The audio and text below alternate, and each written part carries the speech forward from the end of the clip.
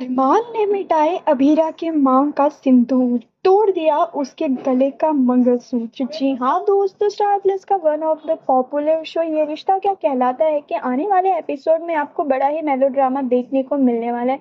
क्योंकि आप सभी को बता दूँ तो दादी साहब फूलों की थाल सजाए, उसमें डिवोर्स के पेपर्स लेकर आ जाती हैं अभीरा के पास जहाँ पर अबीरा और अरमान उस थाल को देखकर थोड़े शौक होते कि इस थाल में एक्चुअली में है क्या, जहाँ पर अभीरा उस थाल से फूल हटाकर देखती है उसके डिवोर्स के पेपर्स होते हैं, जो कि अभीरा को देखकर काफ़ी ज़्यादा शौक भी लगता है। यहाँ पर दादी साहब कहती भी हैं कि तुम्हारा डिवोर्स अब हो चुका है।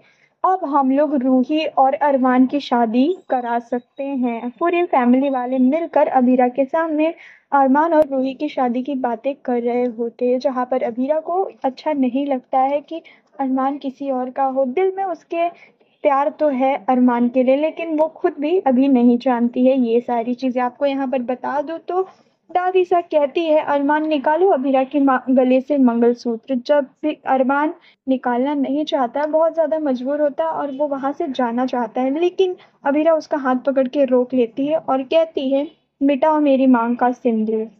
वहीं पर अरमान कुछ नहीं बोलते हुए अपने आप में गुस्सा दिखाते हुए उसकी मांग का सिंदूर मिटा देता है।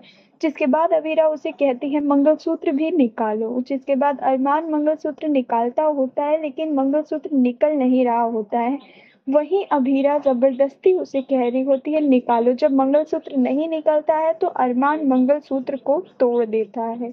जिसके बाद अभीरा टूट जाती है एकदम से। वो सोच रही होती कि काश कुछ हो कि अरमान मेरी फीलिंग्स को समझे और हम फिर एक बार एक हो जाए। लेकिन यहाँ पर अरमान और अबीरा एक दूसरे से बिल्कुल अलग होते हुए नज़र आ रहे हैं।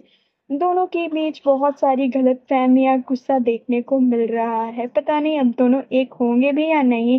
क्या अभीरा अब होने देगी रूही और अरमान की शादी? देखना बड़ा ही इंटरेस्टिंग होने वाला है। वेल आप सभी का क्या है कहना? ये पूरी अपडेट पर हमें कमेंट कर ज़रूर बताएँ।